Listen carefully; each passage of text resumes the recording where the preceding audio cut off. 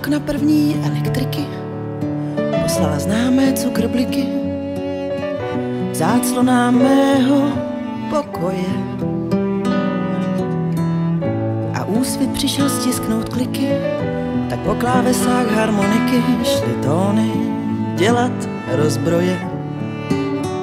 Pod střechou, kdo si hrál, někdo se tomu smál, zatímco jiný dostal vztek. Tak či tak každý den hlásil se refrénem. Já dnes mám vanu plnou fialek, mám vanu plnou fialek, mám vanu plnou fialových fialek. Tak chodilo to každé ráno a někdo říkal nevídáno, ať se ten chlápek pobaví.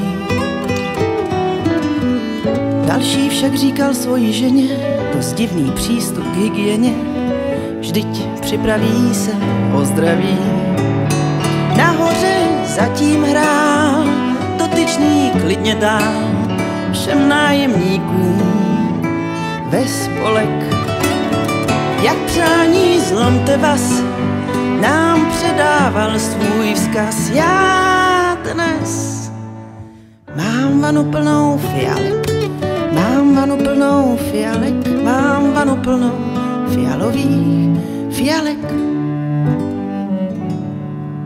Postupně se všem zalíbilo budit se písní, zvlášť když lilo s harmonikou tahací.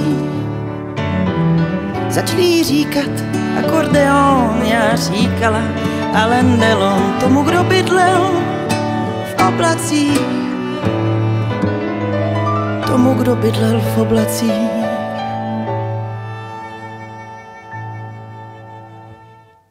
Už se to stěží, nikdo doví, kdo tenkrát bydlel mezi krovy starého domu v Karlíně.